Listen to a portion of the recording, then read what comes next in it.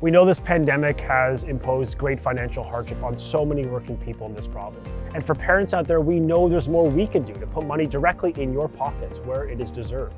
And that's why I'm proud to launch the Support for Learners Initiative, $200 for every child in this province up to age 12, $250 for every child up to age 21 with special education needs. It's part of our plan to ensure we protect our jobs, we support our people, and we get through this economic recovery together.